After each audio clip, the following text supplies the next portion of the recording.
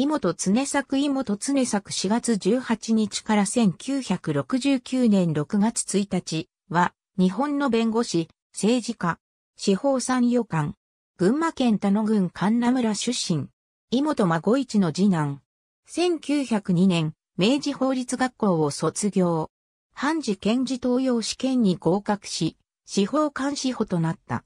官を辞して、浦部北郎の事務所に入り、在野放送会の人となって、実務の練習に努めた。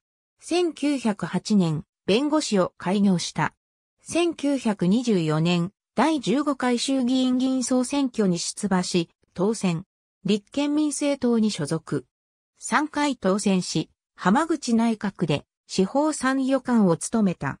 本郷区学務委員、同委員長、本郷区教育会小議員等にも挙げられた。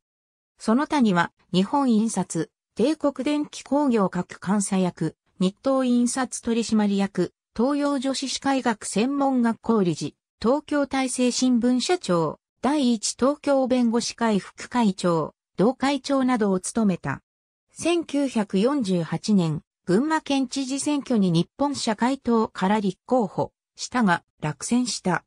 田中四郎左衛門の債務整理のために、日比谷松本老城で債権者と会議していた際、数名の暴漢に襲われて乱打を受け、混沌したことがあった。